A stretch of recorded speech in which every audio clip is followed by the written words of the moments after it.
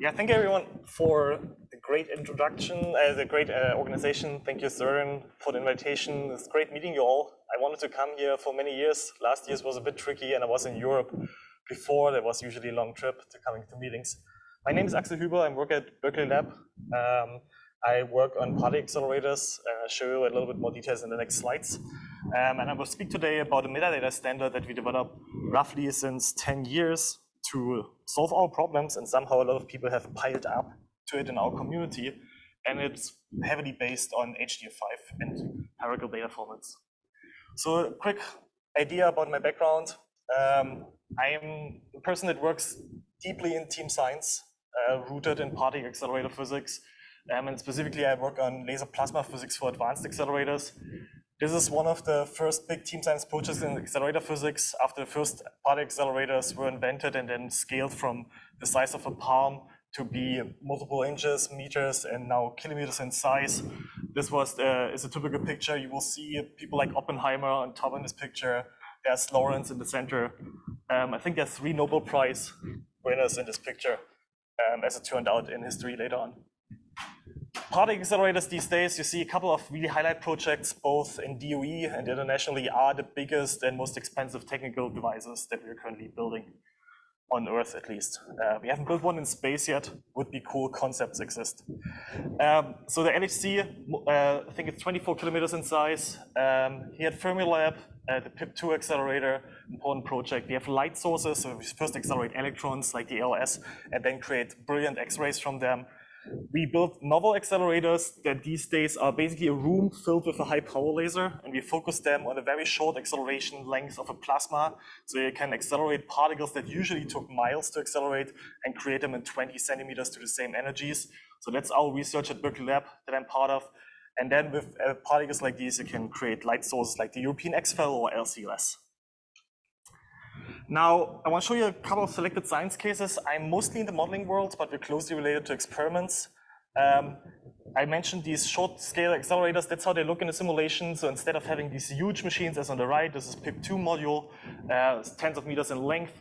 This thing on the left-hand side is tens of micrometers in size, what you see in the simulation. And then we propagate this over centimeters and reach the same energies. And if we can control it, hopefully shrink down accelerators and reach higher energies in the future interplay and the need for data exchange is huge in these fields because we try to build accelerators, build them from modules up and exchange particles from one module to the other. So this is not only in simulation between the different methods that we need to use to model them, but also with experiments and then machine learning algorithms, specifically optimization is a big, big workflow for us, but also surrogate training to go from the micro scale to the macro scale. The things that we model specifically on the plasma sides are deeply related to other plasma physics applications. Fusion energy science is a good example. Like fusion, uh, inertial confinement fusion is very similar to the acceleration of ions with lasers. Um, but also lab astrophysics or high field physics like QED physics modules uh, and, and physics studies can be explored with that. Interestingly, in the community that I'm showing today, there are also other people piling up. For example, people that model general relativity um, with the standard that we define, um, and also people that do life science image analysis, because we have a relatively uh, fundamental metadata schema that just works for them, and so they integrate it. But I'll show this in the next slides. My talk will be outlined as follows. I will first introduce the metadata schema, open particle mesh data and its concepts, the design principles that we use, how we make it modular and useful beyond accelerator physics, how we separated domain science from basically the description of the physics and engineering aspects. Um, I give you an example in the WarpX application. That's one of the main applications that I develop in the Exascale computing project. Um, and then we go a little bit into ecosystem, what we have built, how we leverage libraries and projects and backends such as HDF5, um, and how we integrate them because for us as application people, our goal is to have full start to end workflow, right? We most of the time write our applications, apply them to science cases, and then I/O is another challenge that we also have to efficiently solve, and that's why we work so closely with you. So we designed this in an open community, and then at the end I will show you a couple of selected R&D highlights. I have tons of slides of things that we benchmark and so on. I will show you only slides of competitor projects that we explored with. So we have some motivating use cases. and then we'll summarize. All right, so what are the design principles of OpenPMD? OpenPMD is a schema. Um, you can think of it of um, a schema similar as a, you could say, a mix of PyTables. Uh, or a mix of NetCDF because we have multiple data structures that we have to address at the same time. We have mesh data, which is structured grids at the moment, and we have particle data, which can be heavily interleaved and mesh refined as well. What we focus on is a high-level description. We do not reinvent anything that is done on a, on a library level like HDF5. We do at a minimal schema to annotate everything from groups to the root group to uh, layouts to series to the individual records because we need quite a bit of information to describe it. Um, and we want to make it in a way that they are human readable so we can still understand what the physics was or the numerics that was used and machine actionable. So basically the first time basically that we interacted with HDF5 and we had this implemented already two or three times in our codes, serial implementation, parallel implementation, tuned implementation, uh, implemented other libraries. The thing that was really attractive for us compared to other implementations that we had with our own binary formats or that we had with like SIONlib was another parallel implementation that we tried with the UDish library is that it's self-describing and portable. But self-describing for floating point data and self-describing for physics and engineering data is still a big difference. And so what we need to add is all this information so that we can interpret this data, and this is exactly what the schema comes in to tell which attributes do I expect, so that a particle accelerator simulation can understand a particle beam coming from a different source, for example. All right, the rest, the lower part, you see we all get from, from the file formats we implement against, it's agnostic and portable. It's scalable to supercomputers depending on the backend that we use. And what we do then for the schema is it has a version we can forward update it by just updating metadata. metadata. Our schema is relatively lightweight, so the first straightforward implementation, for example, for analysis codes that we wrote is like less than 400 lines to pass all options that we have. Um, it's really easy to implement, and it's scalable um, to really large supercomputers, which I'll show you in a, in a bit. Now, on the domain science side, what motivates us is really to what we showed on the previous slides and talks today already is, is that we have a self-describing data format that we can use to fulfill things like a fair uh, data standard so that we can exchange our data, create data repositories, go between our domains, and cross also the, the domain, for example, from experimentalists to engineers to physicists, back and forth, and computer scientists. So the schema, uh, the fair standard principles we saw in the previous slides in the morning um, already. So it's, it's about having findable data sets, accessible data sets, accessible, we implement multiple formats. We go back to that in the, in the next slides. Interoperable between these simulations and domains that I mentioned, and reusable. And so it's very clear that this is exactly why we need hierarchical data formats in our backend and implement on top of those. Now, let me show you a little bit how we structure the thing. So we, I mentioned that we had already implementations in our parallel codes um, for, for HDF5, um, and we realized that we had, every time we had to re-implement this in different codes, we had to basically write another 4,000 lines of codes just to be sure that we can express it in one code, tune it properly, exchange this data. So um, what we realized then at some point is, well, it doesn't help us if you have two codes, one writes data, the other one also writes HDF5 data, but we can't even use the same post-processing tools. So what we came up with is just, we just wrote a technical document that was in roughly 2014, 15, and just wrote down, okay, if you implement HDF5, use these attributes, um, structure data series like this, so we can read each other's data. So we published this and since then did a couple of iterations. There's a major release coming this year, um, and people just implemented this. That was great, um, but at some point we wanted to go further. Um, and so we had this implementation that was running well for us, but we had roughly at the time as well as the Titan supercomputer was coming on some serious HDF5 scalability issues um, on these machines. So what we did is we looked into other hierarchical data formats and implemented more backends with the same metadata and abstracted this further. They all use the same schema, so we have implementations with ADIOS 1 at a time. That was what we needed on Titan.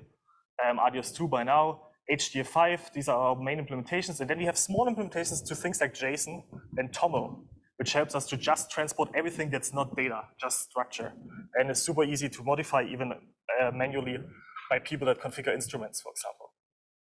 Now, how do we structure our standard? We actually write one base standard that's just a general description telling us how we can structure data series, um, general meshes, um, and particles. Basically, based on that, you can build visualization schemas, but you can also understand something is a particle, and I can process this and transport it to somewhere else. On top of that, we write these so-called extensions, which just add more meaning to it. So for example, if I want to describe something that's accelerator physics specific, it will be an extension on the base standard that we standardize together, and you can pick and choose, just like Lego, the base standard plus X extensions that you need to describe your data. We then have a couple of reference implementations that I told you we started with. We want to be able to at least look at our data together. So we started with reference just domain-specific visualization tools, and then extend further and further. We have now reference library, and then updater scripts and validation scripts. Going into the details, so this is an HDF view uh, from an early version. You see we have this nested structure, which, which we have uh, a root path, we have our data laid out, and we can describe in this particle and field or mesh and, and field data and particle data. And each of them can have quite a few attributes. So we have somewhere between five to 10 attributes per entry if it's a group or variable. More structured looks like this. We have this data series that can be encoded in different updates. You can call this iterations or snapshots of the data series. So if you have an experiment taking shots Uh, at a laser beam line, you get updates, or simulation that iterates and does output. And people seem to like different formats. So what we did is we, for example, encoded you can write in different files or inside the same file in different groups to write out your data. This has at the end series implementation details and implementation, yeah, performance implications actually when you read back your data. But if you only write a short series with a few files, it can be super useful to just be able to filter them out later on. So this is just an option that people do when they open the file, um, and then it's filters out. And then we try to optimize metadata and look, for example, to encode things in variables to have open times as short as possible for really, really large data series. Inside those, we have these fields, particles, and a lot of attributes. And we also have some optional things in there, like domain decomposition information, which is super important when you have 10 to 13 particles on a supercomputer and want to do a checkpoint restart workflow.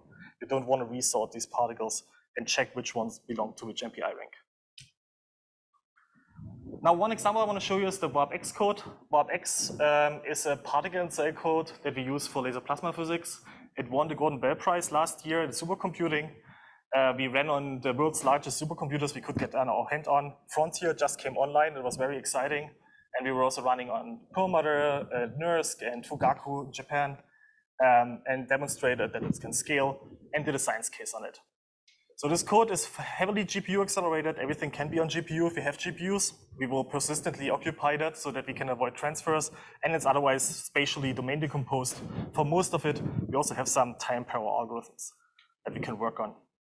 We have multiple geometries, which are which we have to describe. But the really interesting part I want to show you is we have one feature that is mesh refinement, and specifically it's built on the AMReX library that we saw already earlier today, that provides us with block-structured mesh refinement capabilities.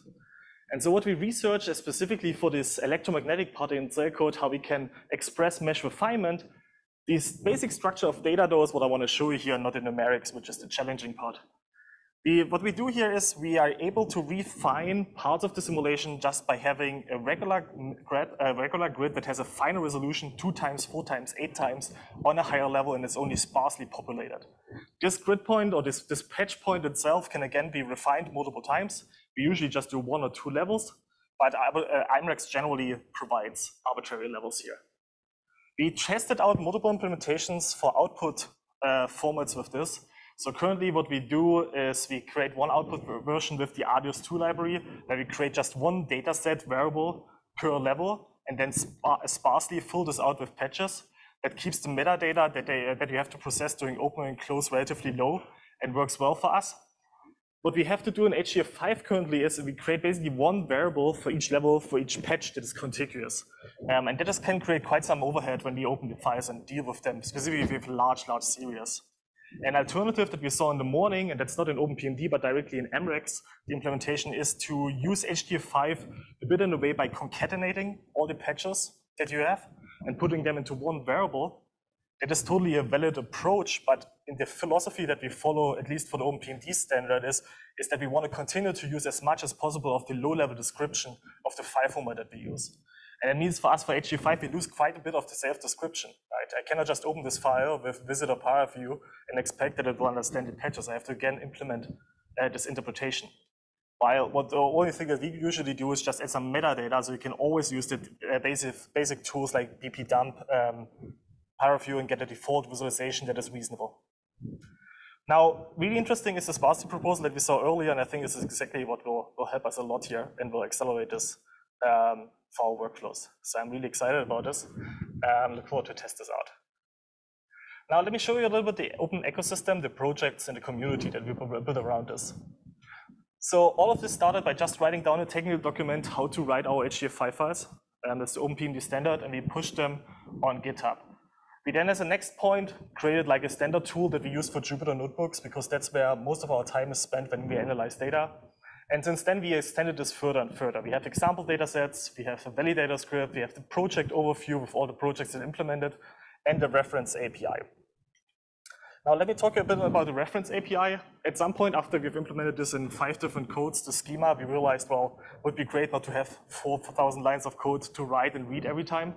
So we just implemented a reference implementation based on an earlier library that we had written just for um, HDF5 and generalize this library to be able to support multiple backends, but also have great interfaces like a modern C++ interface for us that speaks in particles and fields, what we need. And it also has things like Python bindings or now Julia bindings are coming as well, so that we can use it not only on the HPC system that writes the data, but we can also use it locally in a Jupyter notebook or to implement backends into different tools and other analysis frameworks. So we have this, um, yeah, we developed this uh, like a, yeah, just a regular project on GitHub. We push things docs out with every release and have a lot of tests that go over multiple of operating systems um, as needed by our developers and users. And then you, exactly for your workflow, you pick it up either as a library in C++ or as a Python dependency, and you can go from small scale to really large scale and process your data. Now with that, actually, specifically the Python bindings were surprisingly successful because more and more people could just in really, really few lines get their first HDF5 binding implemented and had only to focus on their domain science.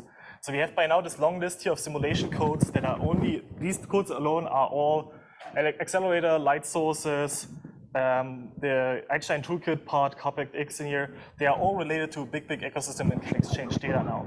So this works really well. Most of them start directly with, with HDF5. Um, and if they have this backend, they can abstract to other things that I showed before, like ADIOS and JSON and TOML. Um, but this is really a quick way for us to implement now. And now people are yeah, just using this and they get readily access to a lot of post-processing tools they always wanted to have access to. The other thing that this abstract, uh, abstraction also helps us to do is, as domain scientists, we usually don't have a lot of time to be able to integrate quickly in like really, really big tools. Visit is a good example, Paraview is a good example. It's really hard if you're a PhD student somewhere in Europe to find someone to explain to you a visualization tool and how to implement stuff. So what we managed to do with that is actually get now always dedicated time that some people worked and contributed just a small bit into the community to get all these things integrated. So we have a great HDF5 integration for Visit, since many years, contributed by NERSC at a time. We have one in Paraview. We have a new integration in Dask, which is a lot of fun for parallel processing. YTs from the astrophysics community helps us a lot with mesh refinement data. Rapids and Pandas is a lot of fun to work with. So this is basically data frames and data frames on steroids with GPUs. Um, and in the end now, it's exactly one line to get your data from HDF5 as particle into a data frame back and forth for us. Um, and the implementation of this is then like four lines. This is exactly the Lego principle that we want to do, the modularity. And due to that, we are able with yeah, just small contributions to really get this connection. These are the people that all contribute to this. It started at the time as a collaboration between Berkeley Lab and my the lab that was in National Lab in Germany, HZDR in Dresden. Um, and since then, we have additions and contributions from all these labs um, that help us to achieve our goals. I try to keep track of about everyone that submits pull requests and features. So this is the list of people um, who I'm extremely grateful for to, to build this. Um, and I hope I got everyone. That was the last point. I just want to show you a few selected R&D highlights, mostly from HPC, um, for features that we looked into specifically for fast reads and a couple of directions that we are exploring currently in terms of streaming. So the first thing, and I like this read in the morning as well as the, the comment that we had is we quite early had a problem as well that our data, even if we can transport it quickly to disk, it is just too large to process. So to what everyone told me is just compress it. Get a factor four, your data is smooth, you have to resolve it anyway. Let's try this. And so I did a little bit of math and we found out, well, actually compressing alone is not sufficient to be actually faster in I.O. It has to be a really, really fast compressor these days. So what we explored here is how we could parallelize and use more CPUs while we are actually crunching on the GPUs during I.O so that we can go below the theoretical threshold that we then measured and compared against. So there's a little performance model that tells you if you don't fulfill this, even before you start your simulation, don't turn on the compressor. Right? It will take longer than just writing your data out. But we noticed already in the morning, we recently did some benchmarks, and this is now comparing specifically to different data layouts. So this is a study from two years ago um, that we did, looking specifically at things like logically contiguous data versus chunk data versus chunk data plus subfiling. So things that come specifically in HDF5 1.14 as well. Um, and compared them for both writing, but specifically reading as well. Multi-dimensional reading of data.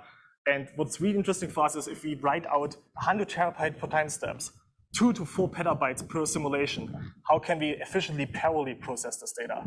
And it turns out, at the scale we talk about here, chunking and subfiling is what you always want to do if you want to do parallel post-processing. And so these are the benchmarks for reading and writing with different layouts. We recently had a full scale run on Frontier, exceeding, really leveling out the file system bandwidth and getting the two-tier Lustre system there um, to the maximum of Adios, which is one of the backends that we have. I'm really looking forward to repeat this um, with the HDF5 1.14 version, but I didn't have the time yet. Um, and the next update, uh, what we looked into is another thing I will show in the last slide, which is looking into how can we actually overcome having to go into disk in the first place. So what we already have is this nice C++ interface that speaks exactly like, this is a structured mesh, this is a particle. So we can write already now MPI parallel applications that can be like up to 10, 15 lines of Python code that can consume this data from disk. And so what we changed now is why do I have to go from one step to another? Why don't I just do a busy loop and consume this data as a stream? And so what we showed in this, in this benchmark here is we were benchmarking, can we consume the data as it's produced? And instead of writing in situ analysis in our application in pure C++, can we write this in Python? Because it's basically like writing a post-processing script, just extremely parallel out of the sudden. And so we did first uh, benchmarks here, and obviously if you consume the data over the network, you can exceed the bandwidth of the file system and show that we can actually proceed here and scale up to really big problems if we want to have just a quick new in situ analysis written for a science case. In practice, it could be really complex, could be things like data source, reduce the data, buffer the data, and then feature extraction. But we could pile them up by writing just tunes of Python scripts, basically pipe from one and another, and then fulfill the equation, that I showed you earlier, of don't spend too much time in your reduction, otherwise you will get backlog. And so we're currently exploring like things like placement for sources, um, how do you want to stream over the network and so on, which is then naturally uh, something you have to be aware of. Now, with that, let me just quickly summarize. I showed you OpenPMD, which is a standardized schema for particle and mesh-based data. We publish and develop this as an open source ecosystem on GitHub. It starts with a documentation. We have a lot of example data and validation scripts and reference libraries and integrations to work with. Our community evolves this practices by open source development um, and leveraging heavily the implementation of hierarchical data formats and specifically HDF5. And in future directions, we are currently in the way of integrating deeper with experimental data systems and using the same systems we know from HPC there. Specifically, as in our experiments, data rates go up and up for the advanced accelerator research. And our real goal is to actually establish, and that's unfortunately not a thing in our field because it's so hard to, to get there if you don't have standards first, to establish these open data repositories that we can do meta studies, for example, over many experiments at a time. And with that, I'm looking forward to any of your questions. Um, these are our contacts um, from Slack to GitHub to homepages. Please feel free to reach out, benchmark us, um, let us know what you find. Thank you.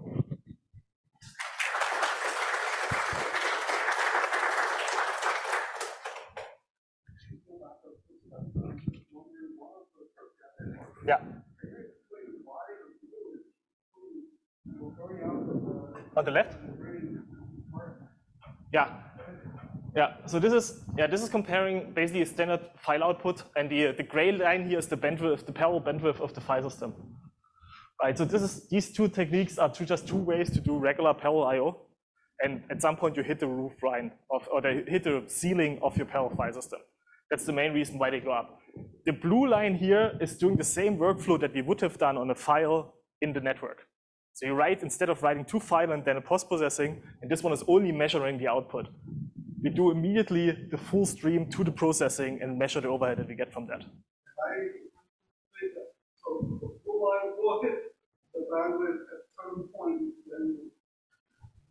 That not uh, keep going? So the blue line will be limited next time, um, depending on your transport over the network. So you will reach a limit as well there. because your, your network is usually not a, like a full torus. Yeah. The, yeah, they have, they have the felt bandwidth by the application. Yeah. Mm -hmm. I mean, it's all, it's all, which one? The yellow or the blue line? The blue line is, the blue line is already starting to tank because we're already starting to exceed the, the, the, the network. Yeah, yeah. Yeah, yeah Mark? Excellent. I'm, I'm curious about how standardized this is. How many people sort of were involved in its creation and its building? And then how often you got to revise it? Yeah. So the the initial version we wrote was uh, I think maybe eight people, right? Uh, with iterations, and then you have of course a lot of people that some people that write most of it, and the other people that add something small in review. And currently, I think we are a little bit over 14-ish, and we have like the fourth revision now. But yeah.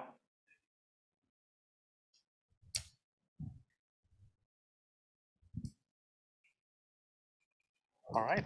Any more questions? All right, then. Thank you so much. Thank you.